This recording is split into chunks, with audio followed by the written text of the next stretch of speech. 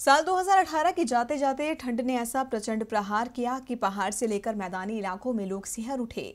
हर तरफ़ बर्फबारी और सर्द हवाओं के थपेड़ों ने लोगों का जीना मुहाल कर दिया है। लेकिन इस बार सबसे ज़्यादा राजधानी दिल्ली की हालत खराब है, क्योंकि यहाँ ठंड ने एक दशक पुराना रिकॉर्ड तोड़ दिया। घर हो चाहे बाहर, हर जगह लोग ठिठुर रहे हैं। राजधानी दिल्ली हर साल ठंड में ठिठुरती है। लोगों पर ये कोल्ड अटैक जनवरी से ज़्यादा पड़ता है।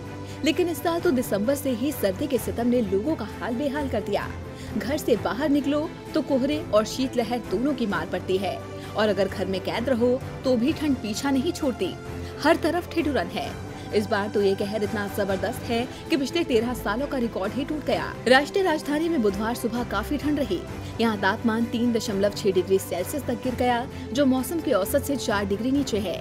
यह इस साल का अब तक का सबसे कम तापमान है। तेईस दिसंबर को भी पारा चार डिग्री से नीचे गया था, तब न्यूनतम तापमान तीन दशमलव सात डिग्री सेल्सियस दर्ज किया गया था। इस ठंड से पहले ही लोगों के रोंगटे खड़े हो रहे हैं कि नए साल के आते आते अभी ये और सताने वाली है। मौसम विभाग के मुताबिक आने वाले दिनों में ठंड तो बढ़ेगी ही, साथ में शीतलहर का भी अटैक होगा।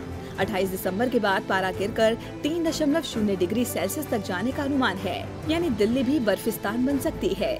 डीबी लाइव की रिपोर्ट। हमारे चैनल से जुड़े रहने के लिए यूट्यूब पर टाइप करें डीबी लाइव, सब्सक्राइब बटन को क्लिक करें और बेल आइकन को दबाना न भूलें, ताकि खबरें आप तक पहुँचती रहें।